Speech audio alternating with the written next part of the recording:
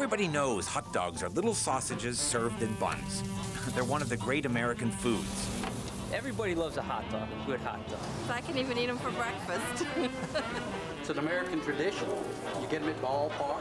Hey, hot dogs! You can just grab them and just go. You can eat with your hands, you know, you can get messy. There's no rules to the game, you know, it's like, rah, rah. One of the best things about hot dog shops is they've not become standardized and franchised across the country. They're still small and regional and unique. So get ready. We're going to check out a few from Macon, Georgia, to Chicago, Illinois, to Anchorage, Alaska. We'll sample dogs topped with all kinds of stuff. I myself, I like it just like this, naked. They're good. They're good. You can't beat the chili dog. Sauerkraut or just mustard? Ketchup. Ketchup. I think most Americans grew up on hot dogs. Eat an apple a day. I mean, it should be a hot dog a day. I think a hot dog is best enjoyed alone.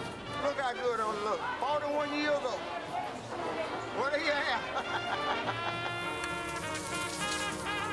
We're going to celebrate hot dogs and the people who love them, even though some folks have slight reservations. Nobody can identify anything they put in these things. I wouldn't say they're bad for people. I would say everything in moderation. Upton Sinclair, the jungle, you know. Five days a week, that's fine. That's moderate. It's a. I'll take my chances. We're going to call this a hot dog program. And we apologize in advance if we don't get to your favorite stand. You know, you steam the bun, you steam the dog, and it's real soft and it snaps with some chili. That's living. A hot dog program is made possible by the Corporation for Public Broadcasting and by annual financial support from viewers like you.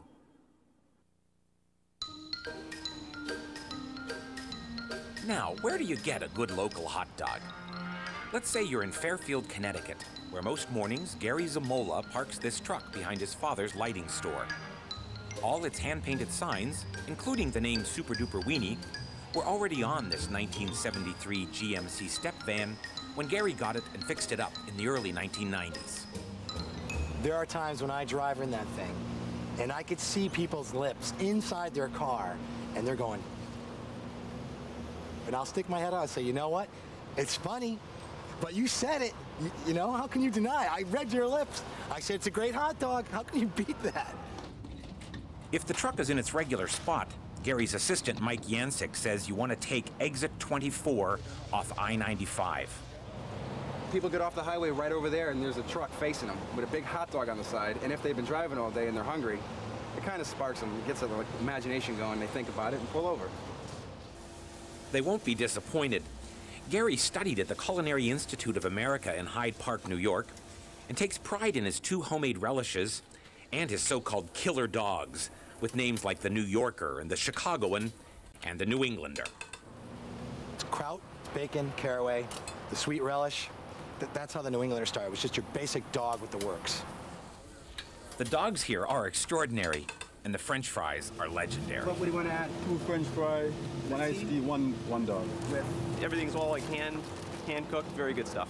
Very good stuff, and the fries are the best. They're awesome. I love my fries. You know, and a killer dog, and it looks like really good. I get off on it, and I get off on the feedback that I get. So good. My wife was in labor in the hospital with our second child, left the hospital to come down and have a hot dog, and go back to the hospital to have the baby. This tiny little truck is serving hot dogs, what I consider four-star hot dogs. You go on your lunch break, you want to be relaxed. This is the, you know, it's nice and relaxed. I'm sure there's traffic going by, but... He's got a great hot dog stand personality. Uh, he's, he's a Uh, great whatever chef, not because he's my brother, but good are you? he's, he's very good at what he does. Gary will do just about anything for his customers, but there is one thing he won't sell. So many people come up to that truck, and they'll order the whole damn thing. The most loaded dogs you can get, New England or New, whatever they order. Order of fries. And then I hear diet soda, and the hair on the back of my neck goes up. Diet soda is non-conducive to the times of the truck. Diet doesn't exist here. You are here to splurge. You're here to relax, enjoy. It's supposed to be like a, you know, 40s, 50s lunch wagon, and diet soda didn't exist. Well, Gary's dream has always been to open a diner. A great diner with food prepared with all the love and conviction that he puts into his super duper weenies. Passion is the key to this thing. If you don't dig what you're doing, you're dead. I love this. I love working here, and I, I love the super duper weenie. And who could be happier, right? Most people are miserable at their jobs. So I dig it. I totally dig it. You know, a love of the crazy work involved really helps, even at a big hot dog stand, like in Atlanta, Georgia, at the Varsity. What do you have? What do you have? Put your money in your hand and your heart on your mind. What do you have? What do you have? What do you have? The Varsity is an Atlanta landmark, founded in 1928 by the late Frank Gordy, who dropped out of nearby Georgia Tech. He made the Varsity famous for excellent hot dogs and unbeatable curb service. Big crowds on football weekends. You could go inside, but the Varsity was the world's largest drive-in. Ladies did not come in the varsity. Don't ask me why, but it was called the men's club. And if you brought a date, you were outside, or if you were with your family, you had curb service. Nancy Sims, who is Frank Gordy's daughter, now owns and runs the place, where hot dogs with some southern variations are put together and sold at an incredible pace.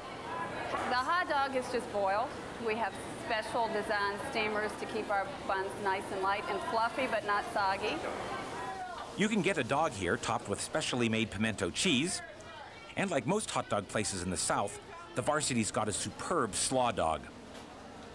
This place's sales rate is phenomenal. It's around 17,000 hot dogs a day. Georgia, Georgia Tech football games, uh, big concerts, we can serve up to 50,000. And more Coke than any single location in the world. You can order at the counter or stay in your car because they've still got drive-in curb service. Either way, things move fast. And when you get to the front of the line, you better know what you want on your dog. How do I eat them? I eat them naked. I eat them yellow. I eat two when I get here. And I eat them chili cheese slaw. Two when I go on break and one when I go home. And I eat slaw. I eat them every way. I love them. They are so good. They are. I love a yellow dog for breakfast, though. That's good.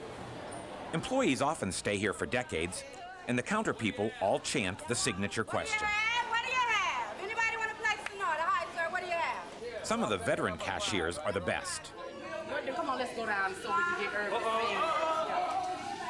Down at one end of the 50 yard long counter, Irby Walker is in charge of the express line, and he often chants much of the menu. This is Irby. Sing, sing the menu for him, Irby. Sing the menu for him, Irby. What do you have? What do you have? What do you have? Have your money in your hand, all in your mind. Well, I can get you to the ball game on time. What kind of drink you want? Well, we got cocoa orange, frosted orange, sweet milk buttermilk, slid bud, Miller's pepper, blue, black and white, coffee, craft, stroll, light and good, no beer. What do you have? What do you have? Have your money in your hand, your order in your mind, where I can get you to the game on time. What do you have? Yeah, what I'm talking about. That's What do you have? What do you have? What do you have? What do you have? What do you have? What do you have? What do you have? What do you have? There's three words you got to learn. What do you have? What do you have? And just keep practicing over and over. It took me 10 years to get a job. I went home every night saying, what do you have? What do you have? It doesn't matter what you have at the varsity when you've got a true counterculture and crazy cashiers. They make this big Atlanta hot dog stand unforgettable. And various factors can do that, including a little creative architecture. If you drive out of Denver, Colorado toward the Pike National Forest, in Aspen Park, you have to stop at the Coney Island.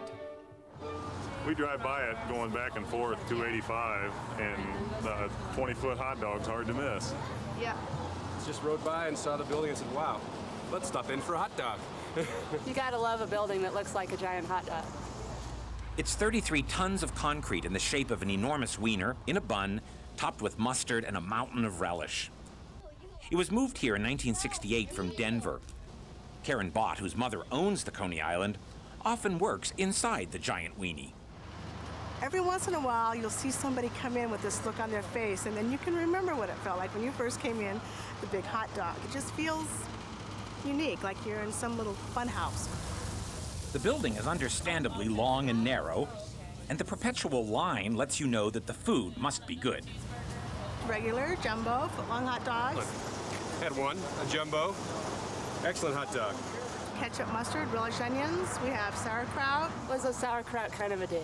Our chips and hot dogs. chili, cheese. Mouth is watering, isn't it? it tastes good. I find everybody loves hot dogs that come in here. Even the vegetarians, I think, sometimes have a hard time resisting, or so it seems.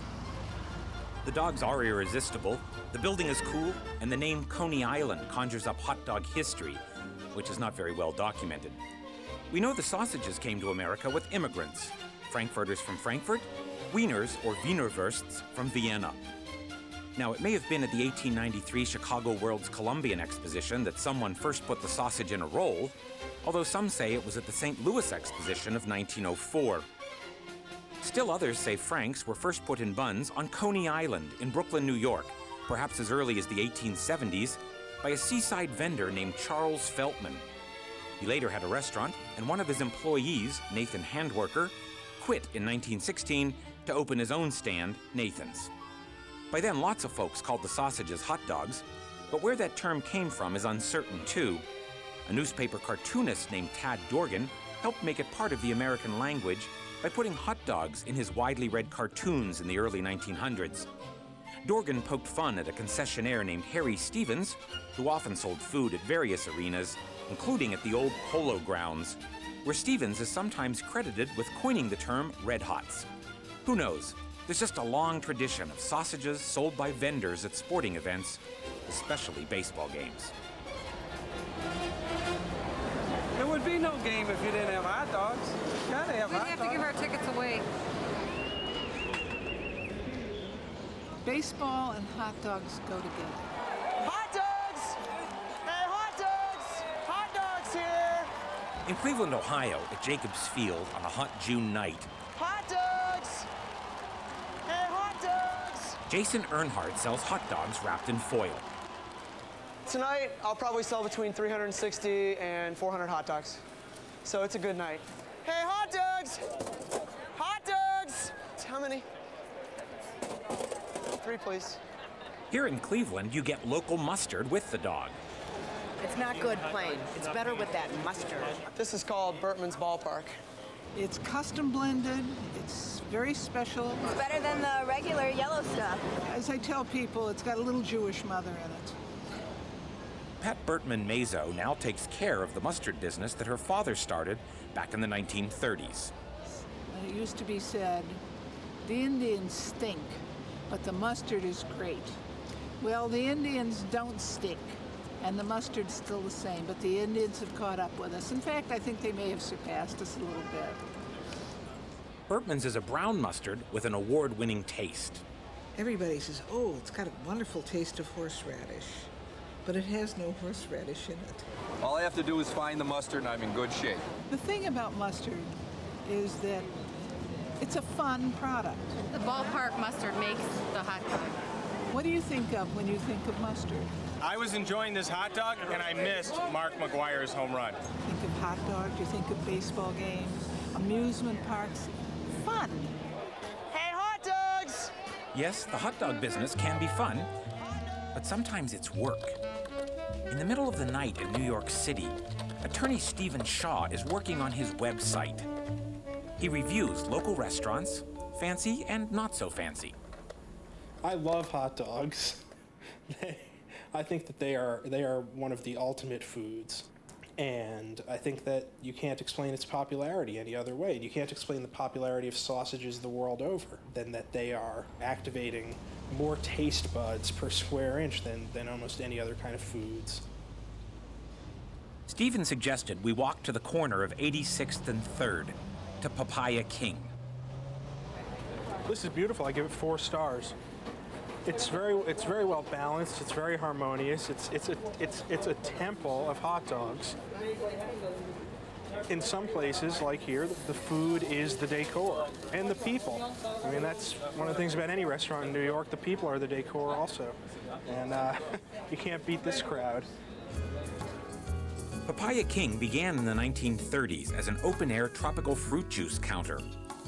A Greek immigrant named Constantine, or Gus, Poulos had stores in other parts of the country, but this one in Manhattan, in what was then a predominantly German neighborhood, may have been where Frankfurters came onto the menu around 1940.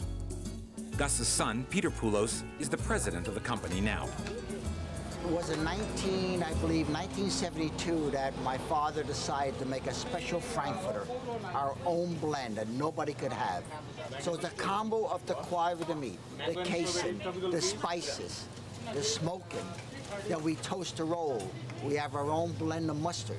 So you put all these together, and they make one hell of a good Frankfurter. Well, whatever they do, it works. And for a buck 25, you get an all-beef dog that delights even a highly discriminating palate. The casing offers just the right amount of resistance. Got to kind of bite into it a little bit, and then bang, you're in there with the hot dog. It's a very, very good hot dog. And then you got to cut that with a little papaya. It's a perfect combination. Still, papaya drink with hot dogs sounds weird to everybody but New Yorkers. But I guess that is the ultimate infusion cuisine, the hot dog with the papaya. Well, there are lots of places to get hot dogs in New York. Steven says the boiled dogs at the push carts aren't that good. My favorite hot dogs are Gray's papaya. For two reasons. One, I think the hot dog is excellent, and everything about it the hot dog, the bun, the, their choice of mustard, their sauerkraut, the temperature they keep their sauerkraut at everything about it is just right. But also, the hot dogs are 50 cents. And I, I can't I can't get past that when evaluating the difference between Gray's papaya and all the competition. I mean, It's hard to altogether. It's hard to I think the cost has a lot to do with it. Yeah, absolutely. I mean, you, you, there's not very much you can get for 50 cents in New York, you know. Nicholas Gray started Gray's Papaya in the early 1970s in imitation of Papaya King. He deals in volume. I sell about 11,000 a day between the two stores, just over 4 million a year. And they're just good here, I guess, because they've been cooking for a long time, and you can't beat a buck for lunch. I, I bring my dates here every now and then. They get a little upset, but hey, it's good hot dog. Sauerkraut makes the hot dog. I can't have it without. Ketchup and mustard strictly. Ketchup But- and sauerkraut good. You guys have a good bun, too. Yeah. We go for everything, usually. Just enjoy it. I really do. I'm a hot dog freak. I'm not an authority, but they're very good. Once in a while, I feel uh, inextricably drawn. It's almost a sinister. As soon as I gather enough money, I come back here and I get more hot dogs.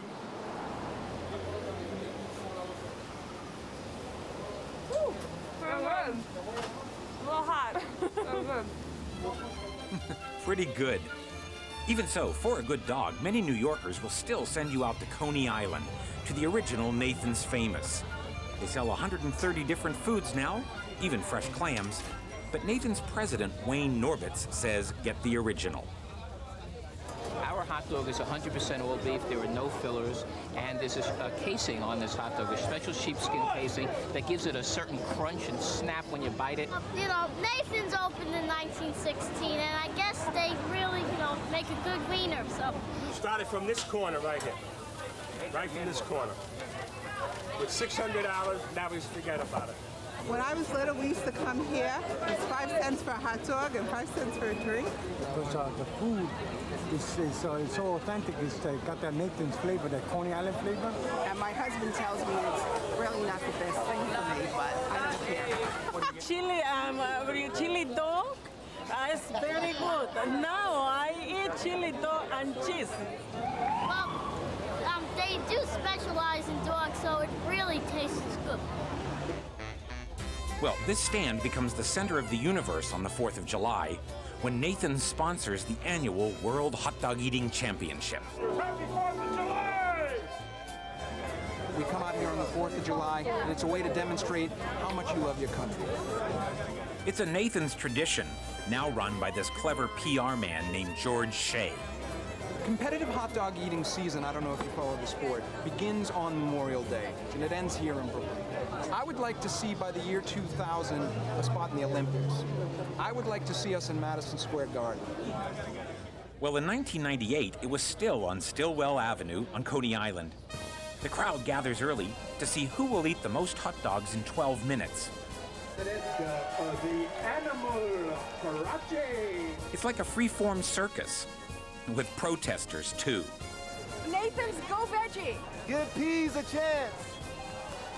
The competitors are introduced just before noon. The whole thing is overblown, outrageous, and silly. It's all American. Think about it. We're here on the 4th of July at high noon in 12 minutes. That's the patriotic epicenter of the year.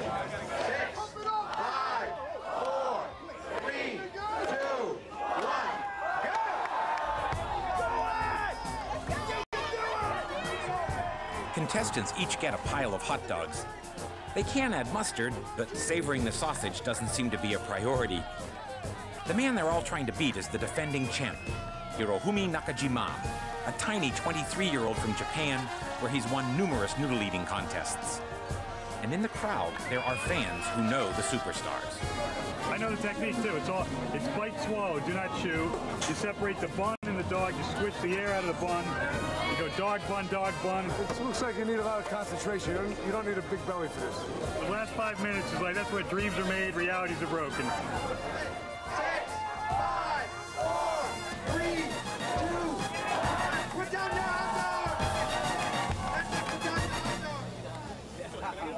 With 19 Nathan's hot dogs and buns in 12 minutes, world record holder Hirofumi Nakajima that are non-American on the 4th of July should win the, the, hot dog eating contest. I think it's appalling. Surprising thing is the small, smallest guy won this competition. He uh, eats hot dogs only once a year when he comes here in, at the contest. And this, I believe, is the best, biggest, and supreme stunt in America. I might be a competitor next year. I don't know. We'll see. Yeah, but even on the 4th, New Yorkers have to face the fact that the world capital of hot dogs may be Chicago. I mean, Chicago, they try to claim everything. They're like deep dish pizza. Like Pizza Hut didn't invent that. A New York hot dog is a limp little weenie. They got the Windy City. Like we don't have wind here. On a skinny little limp bun. Well, you know, Chicago, they put on everything. With some mustard. And actually, by the time you have the frank, you're not sure what you're eating. And some kind of icky sauerkraut. That's it. There's no onion, there's no tomato, there's no relish, there's no hot peppers, there's no pickle, there's no celery salt. There's nothing there. But in Chicago, you get all that, usually on a boiled dog in a steamed bun. And you know, there are more independent hot dog places here than all the areas McDonald's, Wendy's, and Burger King's combined. Each place in Chicago is an original. They've got some very high concept of what they should be doing, and they do it. Rich Bowen and Dick Fay are professors of psychology at Loyola University. And back in 1983, they wrote a now legendary book titled Hot Dog Chicago. They said we should meet them first at Bill's Drive-In, near the border between Chicago and Evanston. Polish and a hot dog. and Could this be the best hot dog place in the city? It's like saying who's the best human being on the face of the earth. We're all we're all great, right? The question is, what's what makes each of us distinctive? And so it, this ranks right up there. The hot dog here stands shoulder to shoulder with any other hot dog in the universe. Bill's Drive-In opened in 1949. The original Bill's son, who's also Bill, works occasionally, but he's retired. His daughter Robin and her husband Rob Klitschko run the place now. they dress no dogs until they're ordered. Uh, how you use tomato celery? Well, every order is a special order. We ask every customer that comes in what they want on it. It just seems like the perfect way to make a hot dog, right in front of the person. Yeah, okay. Well, this is a this is a classic Chicago hot dog with the beautiful um, red tomato. This one has uh, pickles on it, chopped onion, mustard. There should be some green relish in there somewhere, and then it's also got the hot sport peppers. In Chicago, adults love hot dogs, and they're made for adults. You know, spicy and full of adult tastes. Bill's Drive-In is a low-key sort of neighborhood place. Doesn't call a lot of attention to itself. Unlike the Chicago landmark known as Superdawg. Superdawg is on Milwaukee Avenue at the intersection with Devon and Nagle.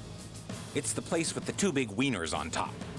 They're not wieners. It says so on the menu. Not a wiener, not a red hot, and not a frankfurter.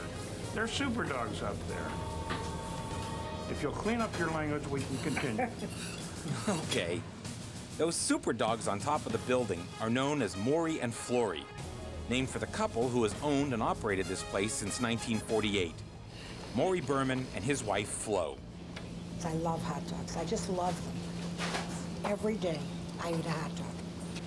And I think it has to do with the with the spicy, seasoned uh, taste. Because I don't eat a hamburger every day. And I could. They do make some great burgers here called Whooper Cheesies, but it's the super dogs that have been the prime attraction since the beginning. Mustard, neon green relish, uh, ketchup being really an abomination. We, we will serve it, but we won't put it on. A slice of kosher pickle, a slice of pickled tomato, and serve with our own french fries. So it's an entire package. Their fun little boxes say stuff like, Your super dog lounges inside, contentedly cushioned in super fries. And if you're lucky, the car hops will be on duty. Every customer who comes and presses the button for car hop service is greeted. Hiya, thanks for stopping. May I take your order now?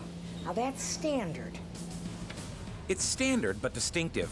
One of those special touches that distinguish this place from all the other hot dog joints in Chicago.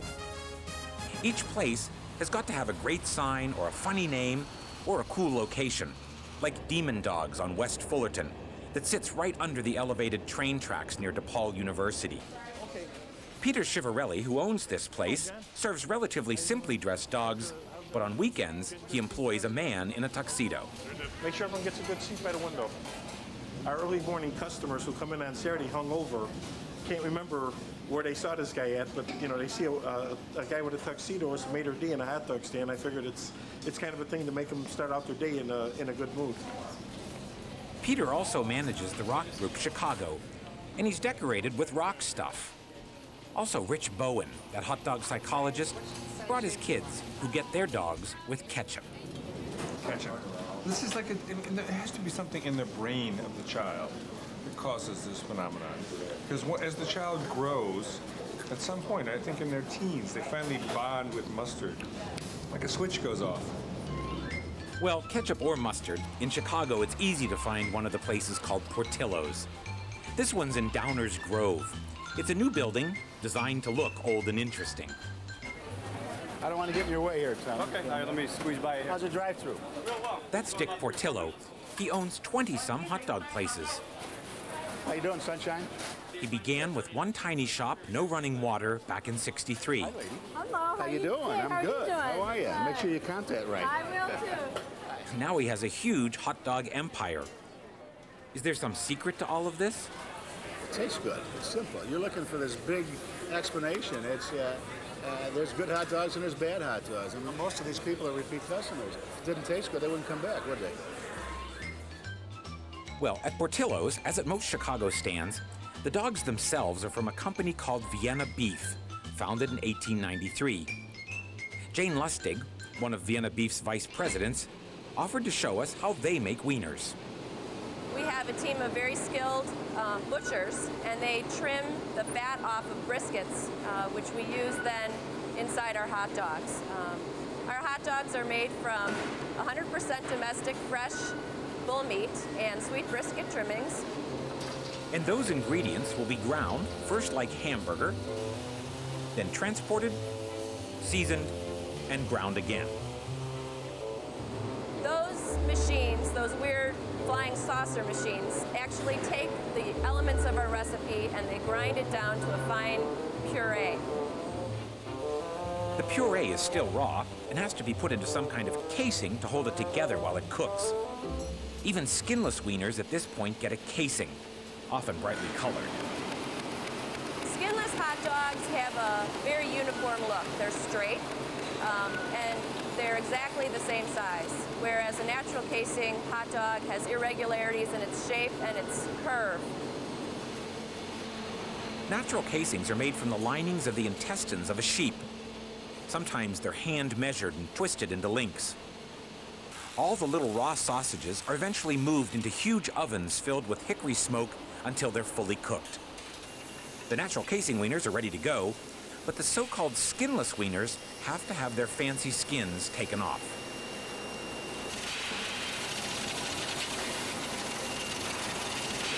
The skin is removed with our hot dog skin removal machine. And it actually peels the hot dog from this, the plastic outer wrap and shoots it out like a bullet. Kind of cool. It's totally cool. And you can top these babies Chicago style. Or if you're ready to motor west, only as far as Springfield, Illinois, you can see a totally different kind of dog, a cozy dog, at the Cozy Drive-In on Old Route 66. Buzz Waldmire has the kind of family-run place here that's good to find anywhere. Cheeseburger basket up. Buzz's father, Ed Waldmire, was one of the co-founders of the Cozy Dog House back in 1950. He had learned to make corn dogs in Texas while he was in the service. He made some improvements and started calling them Crusty Curs. When he brought the Crusty Curs back to Springfield, Illinois, uh, my mother didn't like that name, so she came up with the name Cozy Dog. It, it sounded a little bit more pleasant. And cozy dogs are what the Waldmires have been selling ever since. I would say 90% of my business is local people who've been coming here when they were little boys and girls. And Every time we come back to visit, this is where we come first. It's a corn dog. It's a corn dog. My No, mom you used said to it's a make- cozy dog. Here it's called a cozy dog. And I've been in town for less than a week, and I've been here four times already. I can just remember coming here when I was a little bitty kid and, you know, four or five years old. Because I want to tell you, this is the best. I just love these cozy dogs. People do develop affection for some of these sausages. And in Clifton, New Jersey, there's a definitely lovable hot dog place called Rutt's Hut. It's been a local landmark since the 1920s. We used to come here in our high school days quite often. The hot dogs are great. In the 50s, when I got my first car, this was the place to come with a date. My parents made out in the parking lot at Rutt's uh, This used to be a makeout joint. And I thought it was quite different that everybody was here, just kissing and hugging and. And then you make out in the parking lot afterwards. It was great. and he got me introduced to hot dogs. And this place makes some unforgettable hot dogs. Deep fried hot dogs. Abe Rutt, the original owner, started to cook the dogs this way, but he sold the business in the 1970s to a new family. We're all related. It's uh, four, four families, actually. It's uh, the Karageorgises, the Petropolakises, the Sakalarises, and the Chrysophenuses. The new Greek owners, including Gus Chrysophenus, Usual? Kept all the original recipes and traditions, including calling out the orders to the kitchen and the fryer. Two by two the dogs. Out a crowd, what bread you want? Gus's sister, Calliope Chrysophenus, says the nicknames for the dogs here are just part of the Rutt's Hut shtick. A lot of the customers that have been around forever, when they come in, they already know the lingo, so they order it that way. You don't come in here and order a hot dog. They give it to you raw if you order a hot dog. You got to order a ripper, or a cremator, or a weller. When we first drop them in the oil and it first comes up, it's what is called the in and outer. And it's just, it's cooked, but it's very, like, almost rare. Most of them, after a while, they all become rippers because the hot oil makes them rip open like this. And last but not least is the cremator, which is cooked through and through, super well done. And this is the homemade relish that's very famous. It's a secret recipe. It's mustard and cabbage and carrots, and it's great. But there's no question, people come back here for the rippers. And it's never too soon to start. Customers just rant and rave. This is my third one. I could keep going. I had my grandfather's funeral some 10 years ago. They come off the plane, I have to have a Rutt's Hut hot dog. if my wife knew I was here, she'd kill me right now. You know they stopped here before the funeral to have a hot dog. It's almost embarrassing to admit it, but we all joke about it at this point and laugh Grandpa about it. would have wanted it that Grandpa way. would have wanted it that way. of course. Rutt's Hut is obviously a beloved place in Clifton, and that's not unusual, even in a big city like Los Angeles. Richard Pink and his wife Gloria help run the place called Pink's at the corner of Melrose and La Brea in Hollywood. Richard's sister, Beverly Wolf, also helps carry on the Frankfurter traditions established by their parents back in 1939, when Pink's started as a pushcart. And, you know, they had hot dogs there for, I think it was 10 cents, and Cokes for a nickel, and people would drive up in front. And uh, that's pretty much how it got started. The secret is that the food tastes great, You know, really is delicious. And also, there's a sense of history here. In Los Angeles, anything over 10 years is, you know, major news. The counter here opens right onto the sidewalk, and Pink's has lots of hot dog possibilities. Well, the famous thing is the chili dog. Chili dogs. We got a 10-inch stretch dog. Or the jalapeno dog, you see the long 12-inch hot dog. And the Polish dog is meatier and very good, and I like it with the lettuce. Sour cream and guacamole. It sounds like it wouldn't taste good on a hot dog. It's delicious. You have to try that. There's a nice patio out back where you can dine al fresco, but everywhere here is a place to be seen. People of some notoriety may show up at any time. We're, we're near about four different studios here. I used to do the Jeffersons. I'm an actor. I played the character Marcus. I worked in the cleaners. And a lot of struggling actors would come in and they knew that directors and sometimes producers would come in here. So they started like hammering or tacking their own picture up on the wall. In fact, Matt LeBlanc said when he made it big, his dream was to have his picture on, up on the wall of fame at Pink's. When I was on the show, everybody used to tell me about Pink's. Do you know who holds the record for dogs? Orson Welles. And all my friends were here, so, you know, and we conducted business here. Guess, how many did he eat at one sitting? What I like is there's no commitment involved with a hot dog. 18 at one sitting. Orson Welles. Is that fabulous? And my dad would say, you know, Orson, you're going to get heavy if you eat all these hot dogs. And guess what? We're standing here, and this is not a setup. Ruth Buzzi just pulled up in her car. Ruth, I love you. You want a dog? It's just, it's just a great place. There's nothing better than a hot dog and a, and a drink. You know, in the middle of the day, it's even if you're sneaking food, you know what I mean? It's, it's a good sneak food. The terrible thing is you think, nobody will see me. I'll go there 1.30 in the morning. and there's a crowd. Yeah, no matter when, no matter when you come here, there are people here. Well, obviously, it's people, not just celebrities, who make a hot dog place thrive. Sometimes an extra community service helps too. Just north of LA in Van Nuys, California, there's a smart little hot dog stand with a legal theme. It's called Law Dogs. That's a usual stop on my day off. Oh, I get the, the police dog, the mustard and sauerkraut. Our popular dog is, you know, the judge dog, which is mustard, onions, and chili. And then you have um, our jury dog, which is the mustard and onions. People like that too. Frank Caviani is only 17.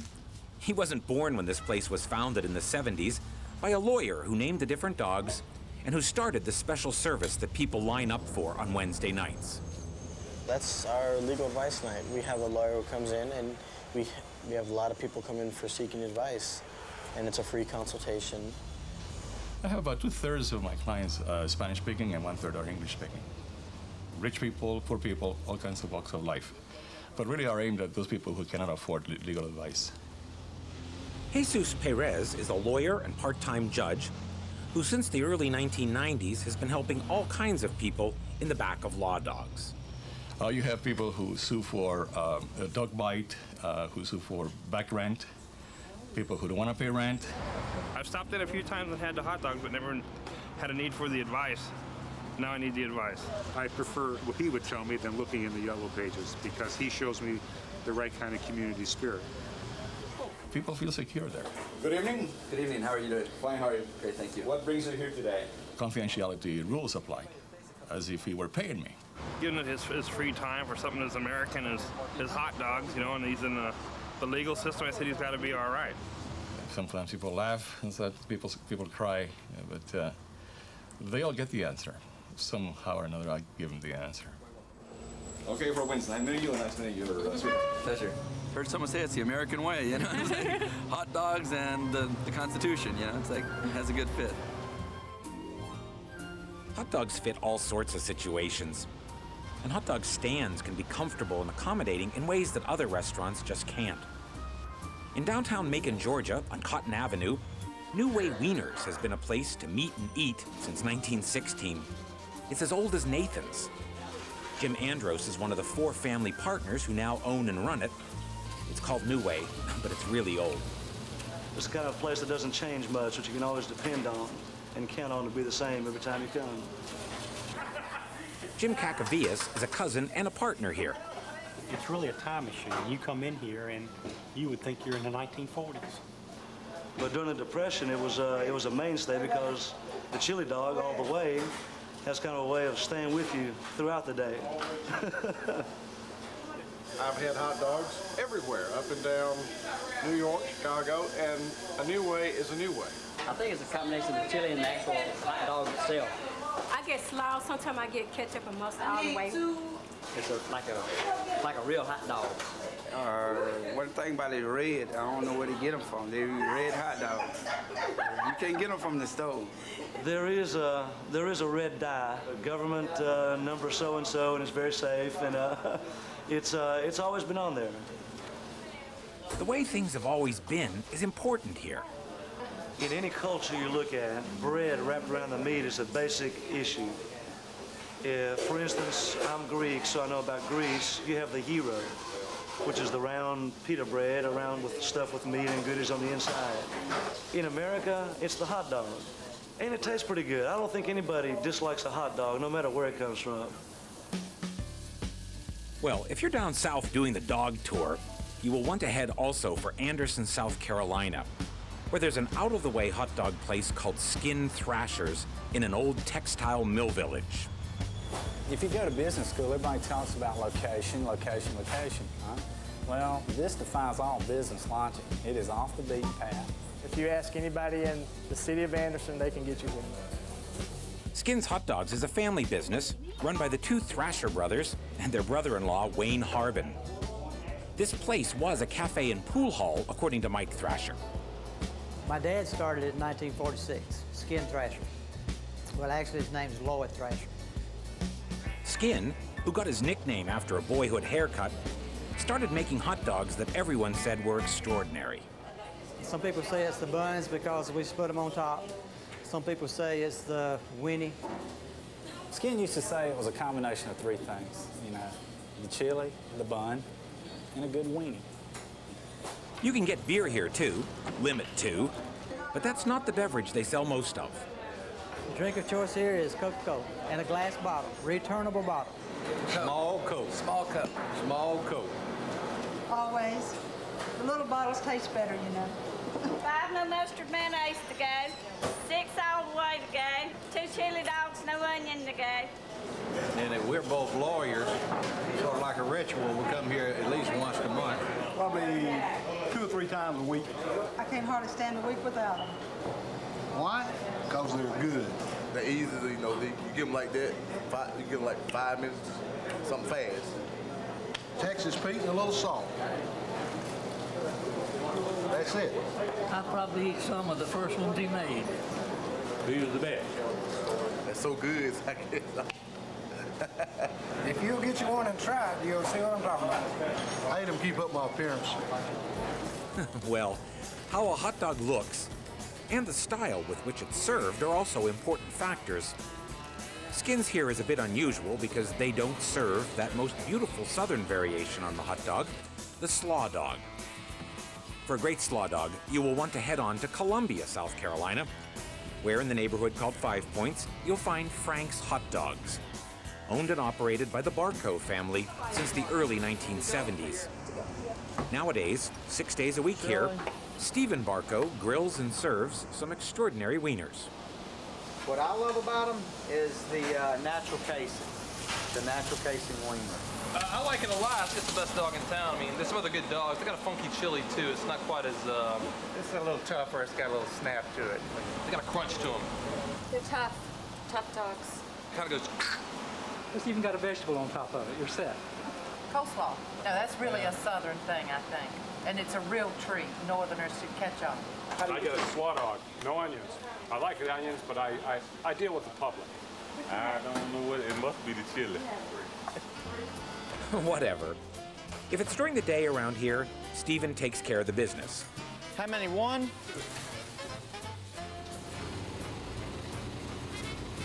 His father, Frank Barco, has retired, but four days a week, Frank moves a little trailer into a parking spot across the street where he sets up the late night Frank's Hot Dogs. Here, he caters to cops, cab drivers, and college kids from the University of South Carolina who carouse around here. We have a few wild ones every once in a while, but but uh, most of them are good. And well, one thing that I like about them is I feel like they're not as fattening as hamburgers. you know. I'm looking for the good stuff. You know, the good stuff like my mom cooks and Frank doesn't, man. I think I got my mom in the kitchen back there, you know what I mean? You just like to stand around with a hot dog that you're not eating? Can I have a bite? Sure. I usually just get ketchup and mustard because I don't really like the onions, bad breath. Late at night? Oh, it's awesome when you've been drinking and you can come here. Sobers you up. Uh, then you might be able to drive off. My college years would not be significant if Frank were not a part of them. When we get ready to close late night, and all the bartenders and all, we, we call it the $5 bag. Anything we got left over, we fix them a $5 bag, about $8 worth of food for $5. It's good. I mean, my father and my family has made a decent living by selling hot dogs, whether it be 10 o'clock in the morning or 2 in the morning.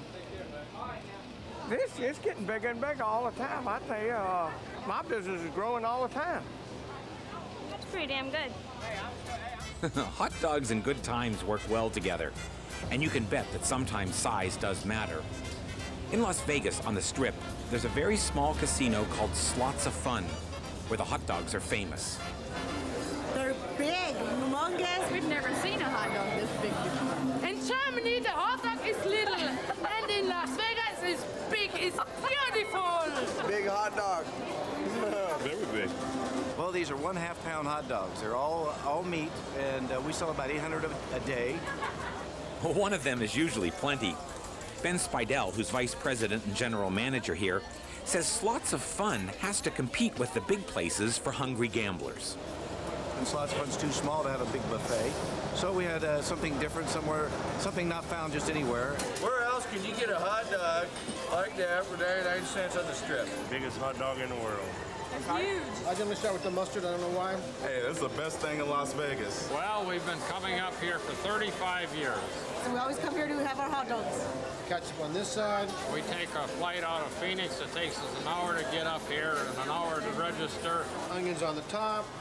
Onions and sins and ketchup. And that's the first thing we head for is this because it's a full-blown meal. It is huge. We divide it. We, we take one of these and three of us split it. The bigger the better. They're just great. I mean, they taste good. And they're only 99 cents too. You can't get anything better and cheaper, and I'm cheap. Just a smidgen of, of relish. Chili and cheese. Ah, super. Oh, oh my goodness.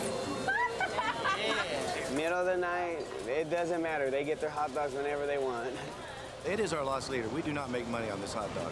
I had one last night. It didn't make me sick, so it's good. Beautiful. You came all to Las Vegas and the hot dog is bad. Some people, oh my God. Because they're so large. Yeah. I like the hot dogs in Las Vegas too. Bye.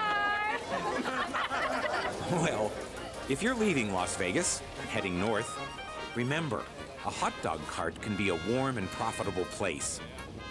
On the first Saturday in March, a cold winter morning in Anchorage, Alaska, Michael Anderson sets up his little hot dog stand because that's the day people come to see the start of the great sled dog race called the Iditarod. Michael, who's known as MA, sells hot dogs here on 4th Avenue every day during the summer. Uh, this is sort of an unusual gig. The Iditarod is running, dog sleds are running. He only comes out twice in the winter time, so you've got to take advantage of it whenever he does come out. There's thousands and thousands of people, and uh, When it's cold, you can have a hot dog and you get warmed up. my regulars that uh, haven't seen me all winter are excited. Only in Alaska, where you sell hot dogs in, what's the temperature? It's not that bad. You know, you layer up and you're moving so fast and you, you stay real close to the grill and it's not that bad. The street is full of teams of dogs. Their drivers are known as mushers. And the smell of onions and sausages cooking on the cart makes every creature nearby salivate. Probably 10, 20% of my customers are mushers or handlers. Yeah, they uh, they appreciate a good dog. Participant in Iditarod 27, the last great race on earth, on his way to the famed Burled Arches of Nome. Five, four, three, two, one, go!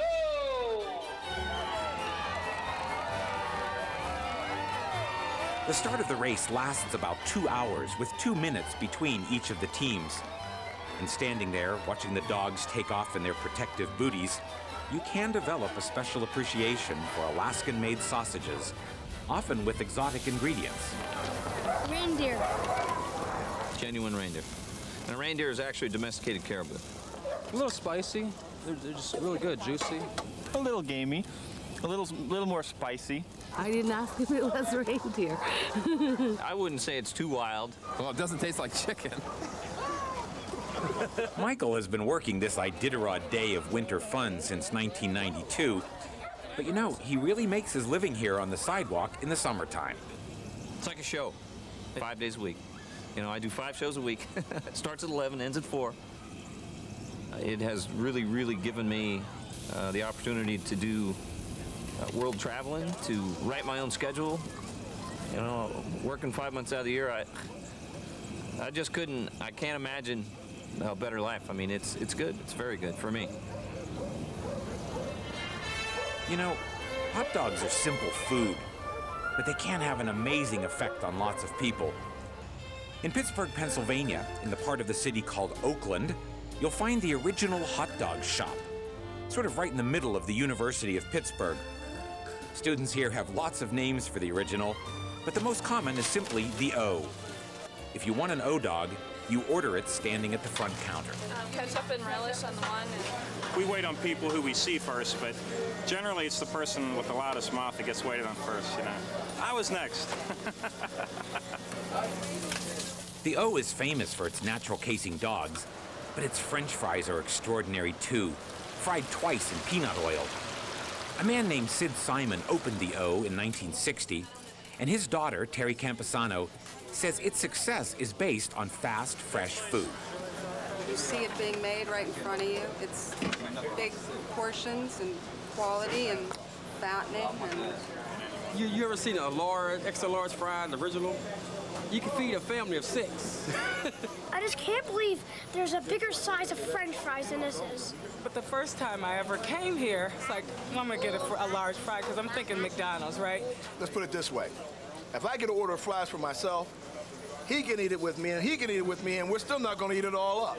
So they bring this huge, huge thing of fries, and I'm like, there's only me. There's just me that's gonna eat these. A large. And there's a super large.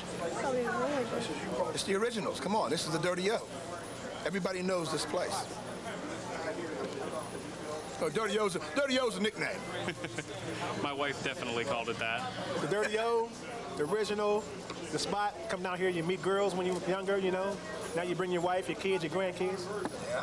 It's a, it's a tradition, man. It's great. Probably half of it's tradition and the rest of it's, it's really good hot dogs. I don't know. I like hot dogs. we came all the way from North Carolina, actually. I love hot dogs. When I was coming up younger, in grade school, we used to smell the hot dogs. I can't tell my age, but since I was a little girl. And Yup, every day, every day. Open the windows, the hot dogs and french fries. We couldn't wait till lunchtime to come out here and get them. My husband, we both went to Pitt 15 years ago, so we're seeing if we still like the same things on them.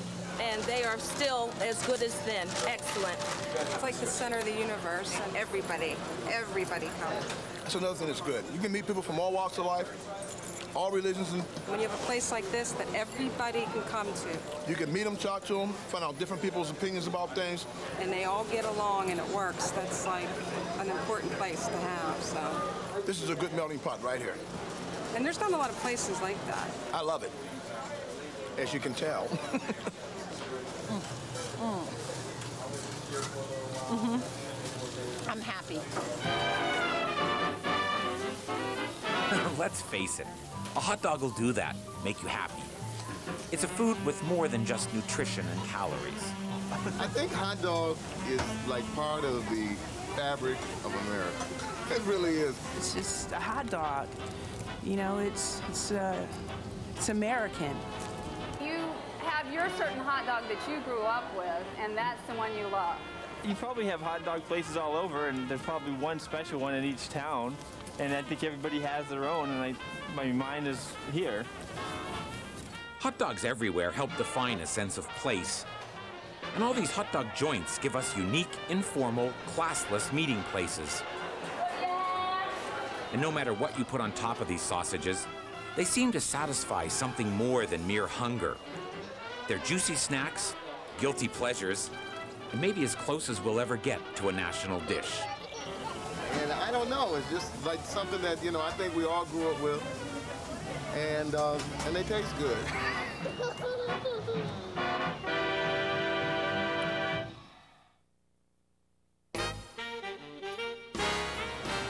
Hot dogs are easy. I mean, Hot dogs are the perfect food.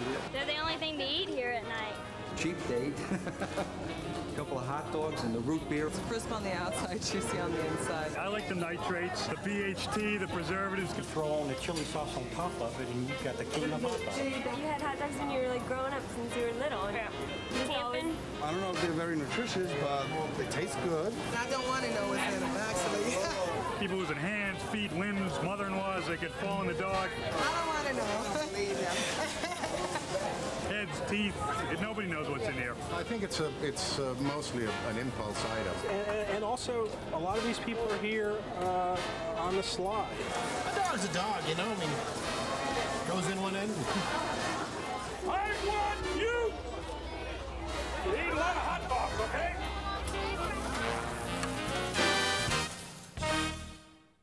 A hot dog program was made possible by the Corporation for Public Broadcasting and by annual financial support from viewers like you.